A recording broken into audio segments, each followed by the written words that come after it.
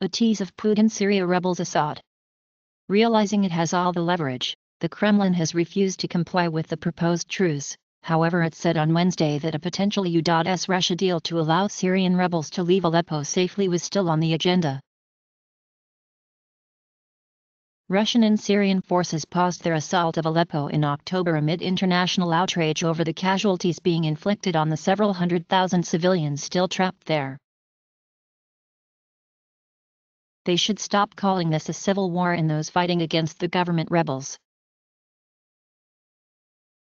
The statement accused Russia and Iran of failing to support a political process to end the bloodshed in Syria, instead concentrating on supporting the Assad regime.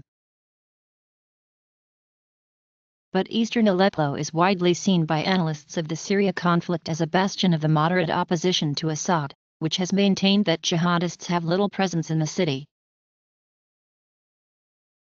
A statement from State Department spokesman John Kirby said the two had discussed ongoing multilateral efforts to achieve a cessation of hostilities in Aleppo, as well as the delivery of humanitarian aid to civilians there.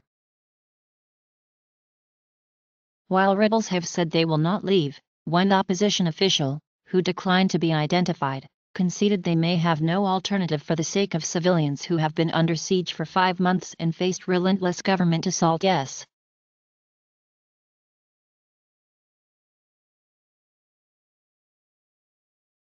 Thanks for viewing this tease. Sign up for the Tip Top Tech channel or search for a Tease Second Mind on YouTube to find and then enjoy other teas.